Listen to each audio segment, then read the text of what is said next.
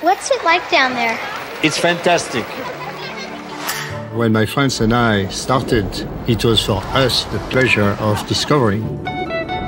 In order to go deeper, in order to stay longer, I became an inventor by necessity. That's when I understood the power of images.